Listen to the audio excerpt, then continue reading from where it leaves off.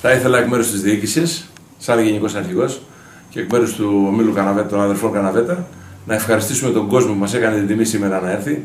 Δεν τον ευχαριστήσαμε όπως έπρεπε, όπως είπε και ο προπονητής. Αυτά τα προπονητικά θέματα τα γνωρίζει καλύτερα. Εγώ είμαι για τα διοικητικά θέματα. Υποσχόμαστε ότι θα πάμε ακόμα καλύτερα στο μέλλον. Είναι ένα μίνι πρωτάθλημα, δυνατό, γρήγορο από όλες τις ομάδες. Τα αποτελέσματα κάθε Κυριακή δεν μπορούμε να έχουμε αυτά τα οποία έχουμε. Στηρίζουμε απόλυτα την ομάδα μας, προχωράμε και θα δούμε τι ακριβώς θα γίνει στο τέλος όταν τελειώσει αυτό το πρωτάθλημα.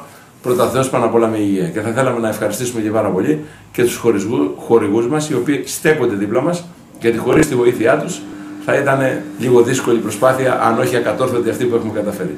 Σας ευχαριστούμε και πάλι όλους και τους δημοσιογράφους και τα, τον κόσμο τον οποίο μας έκανε την τιμή σήμερα να έρθει και υποσχόμαστε να μην τον στενοχωρούμε συνέχεια. Ευχαριστούμε πολύ.